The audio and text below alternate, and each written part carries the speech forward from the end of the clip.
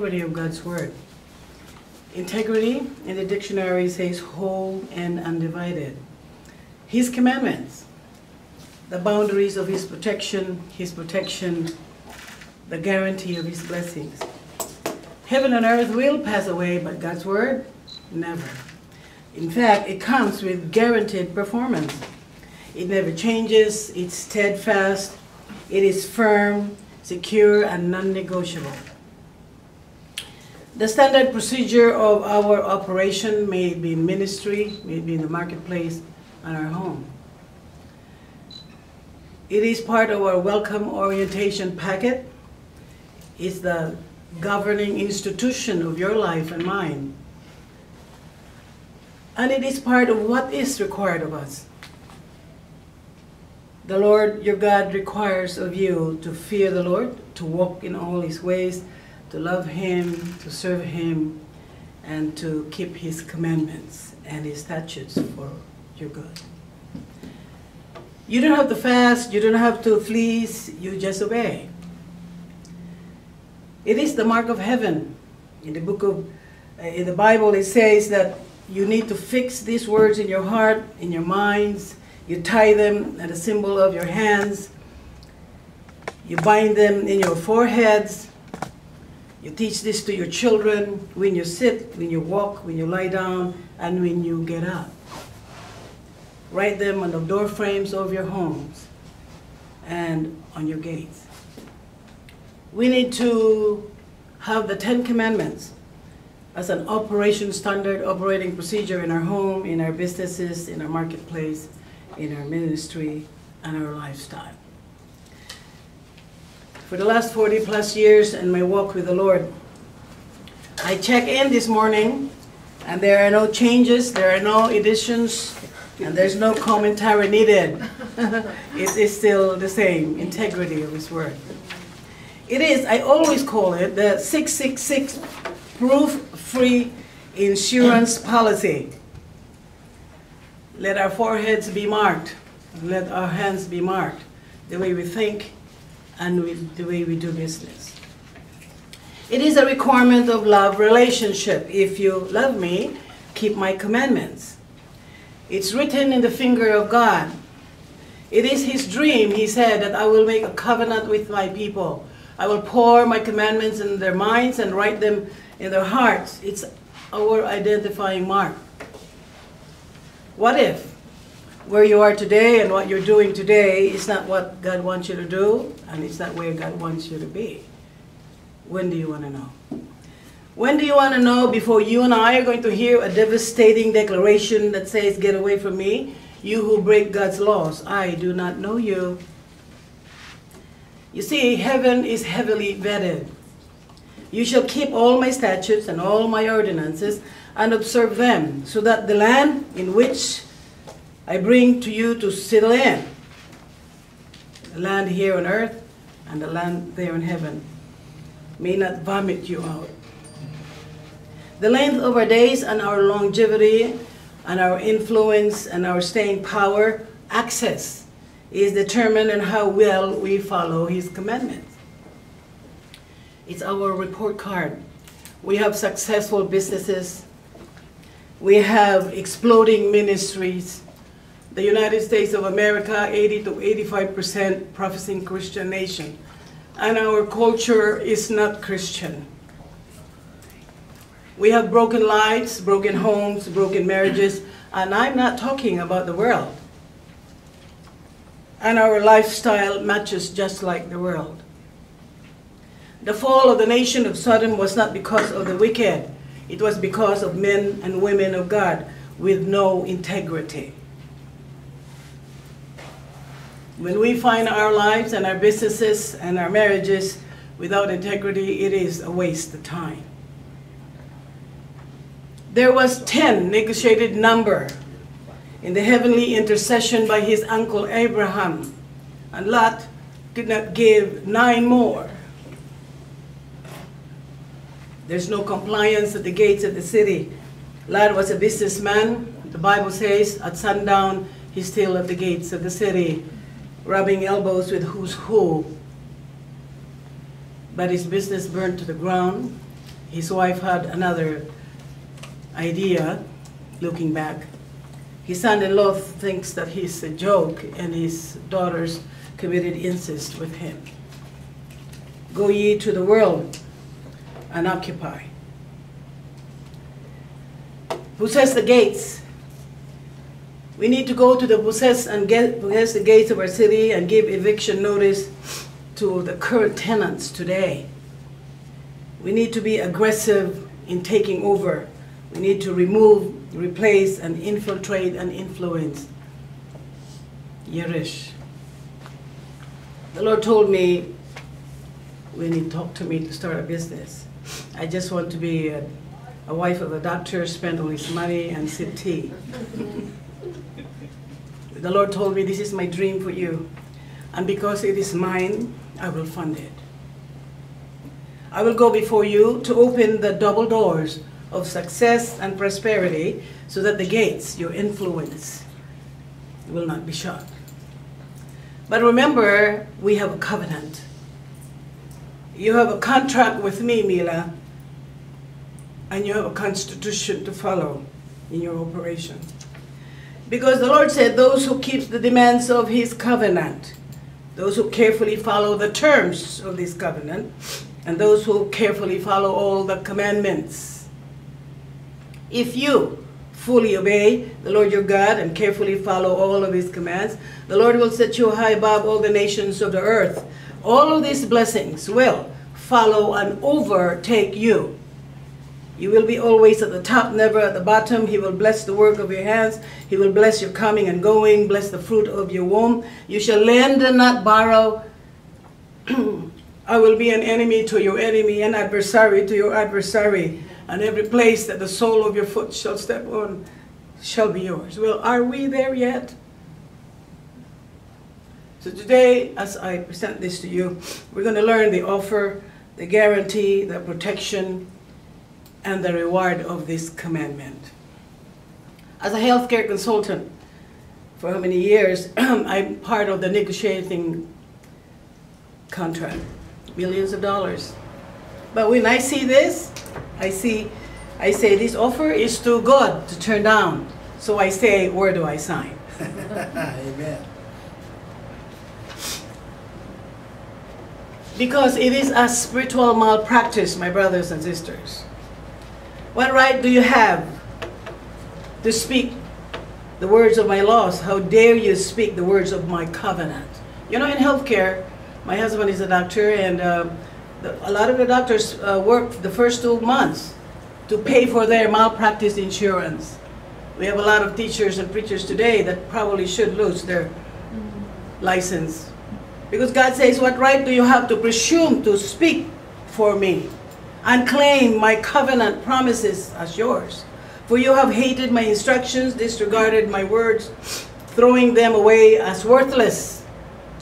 You agree, you support, you stand, and you vote for men and women who directly violates my commandments.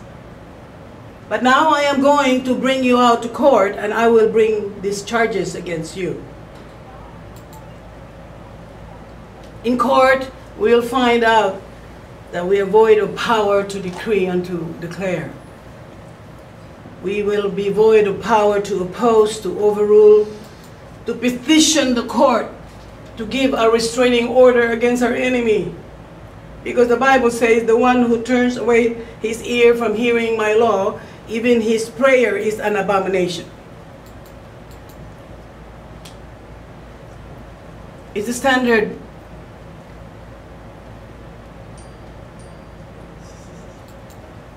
It's a standard operating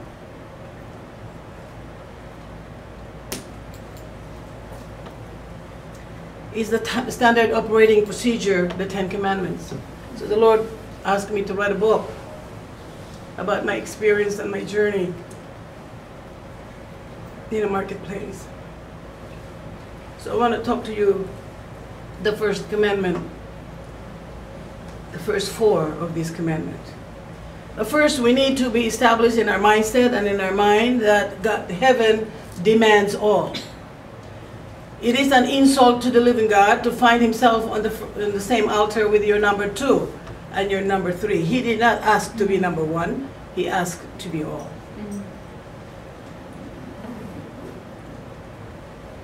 He has no equal, he has no rival. I am the Lord your God, you shall have no other gods before me. I am is my name, and this will be my name forever. You shall not take the name of the Lord your God in vain, for the Lord will not hold you guiltless who takes his name in vain. The Lord God of your fathers, the God of Abraham, the God of Isaac, and the God of Jacob. The world today, to be politically correct, is shoving down our throat the gods of the world. That's trying to infiltrate your life and mine. And yet Abraham, Abraham never heard of it. Isaac does not recognize it. And Jacob doesn't want to be near it. My name is I am. Our family name, our father's reputation. He is Jehovah jealous. the great iconoclast, the one who breaks idols. Do not worship any other God, for the Lord, whose name is jealous. Now you know another name of God. Whose name is jealous is the jealous God. The victorious king demands exclusive worship, no spiritual prostitution allowed. Because he wants to protect us from the devastating results of counterfeit worship. He demands a face to face divine romance, no remote control, please. It's a closed door, secret place, 20 by 20 cubits. The Holy of Holies. Just you and him. A closed door relationship. Because he did not ask you and me for a day, He asked you and me to marry him.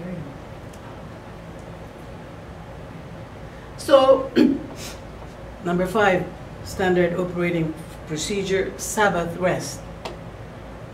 Remember the Sabbath day and keep it holy. Rest is a command, it's not an option.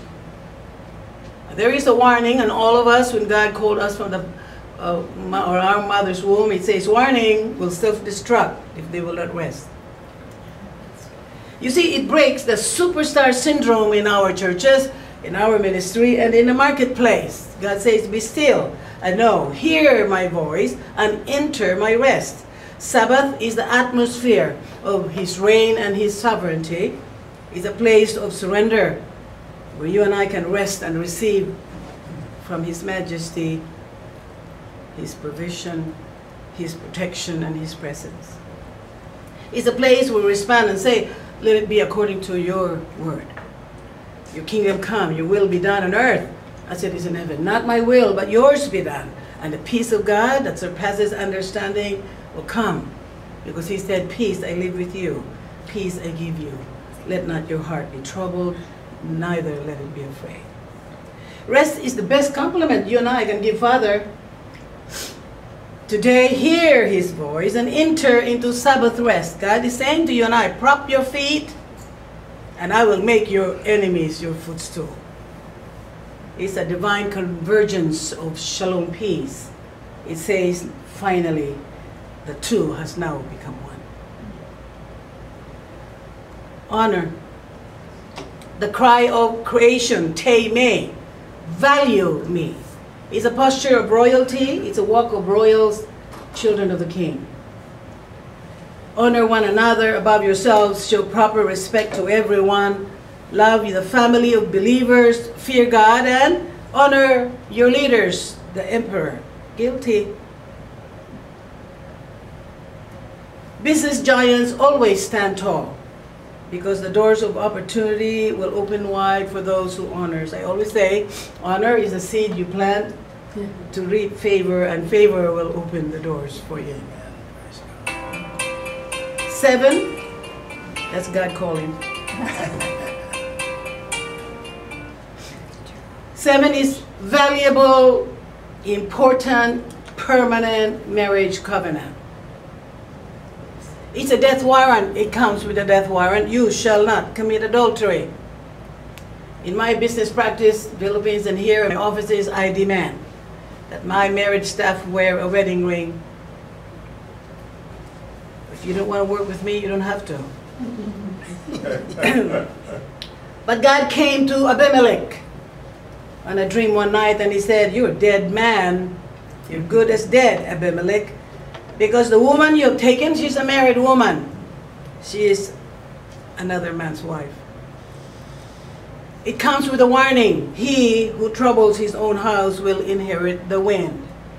And I always tell this, tell this to my million dollar board uh, members when you have a meeting. I say, just watch it. This wind will take your wealth, your health, and including your hair. so be on guard and do not be unfaithful to the wife of your youth. Because I expect godly offspring from you. Oops, I thought that I'll get married so I can be happy. Well, God has another idea. I want godly offspring from you.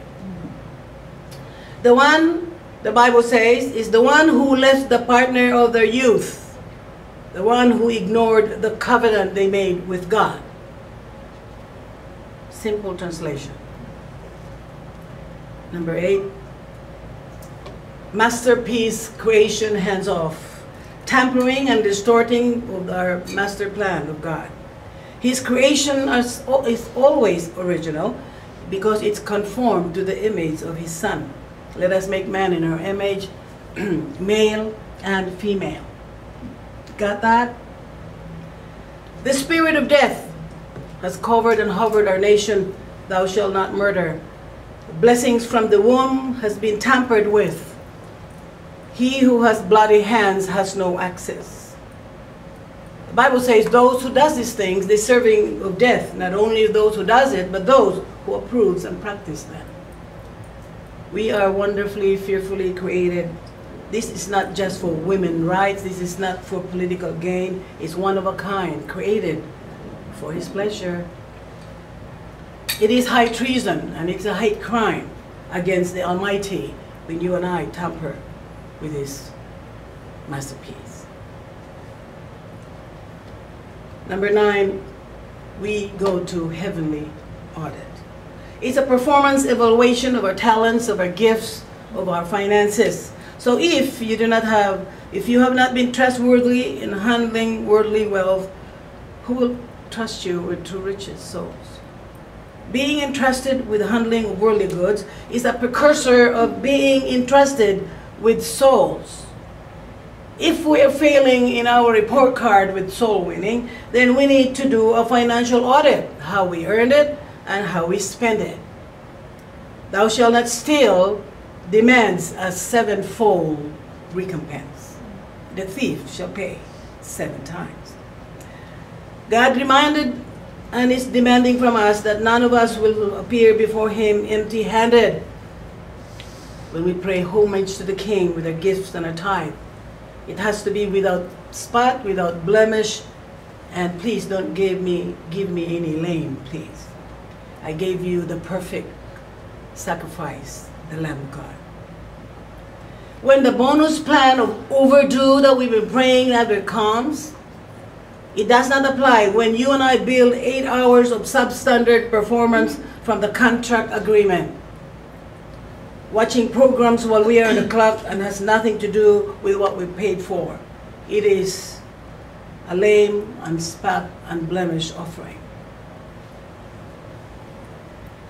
Because this contamination also happens when we're working while we're grumbling and murmuring because the language of murmuring is non-negotiable. It's simply not allowed. It's assigned to a destroying angel because it is a language from hell. To the thief, the door is not open for you. You shall be a witness unto me. Jesus said it's not primarily a calling, it is a command.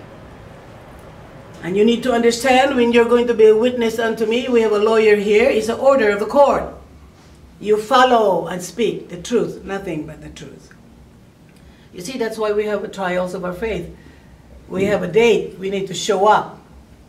And we lost a lot of cases because by default, nobody is showing up. We want direction, but we don't attend daily briefing, and when we do, we do all the talking.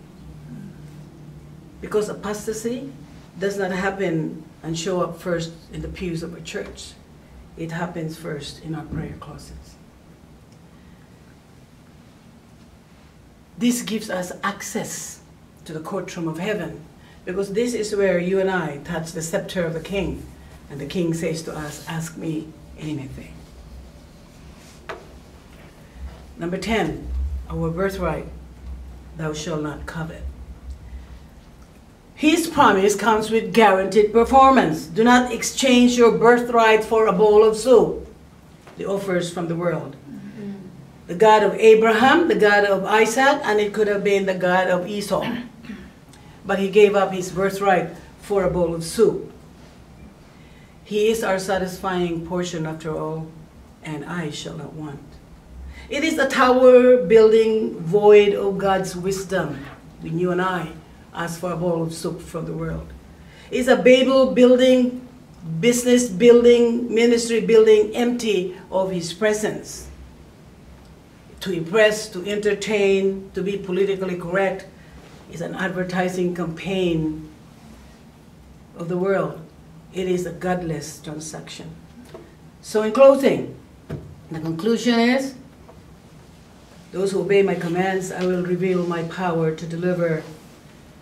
Now it has been heard, and here is the conclusion for the matter. Fear God, keep his commandments, for this is the duty of all mankind.